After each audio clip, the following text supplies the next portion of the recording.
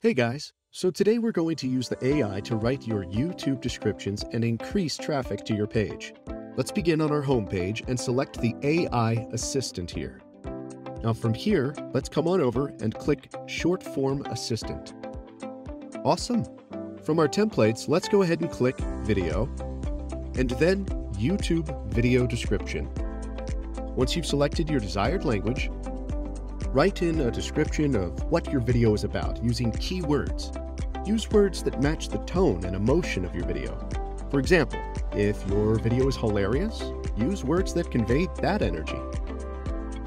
Once you've done that, go ahead and click Generate. If you want, you can always click Generate More at the top right corner to get more results. And there you go!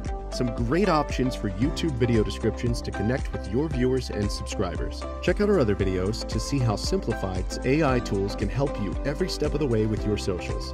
See you there!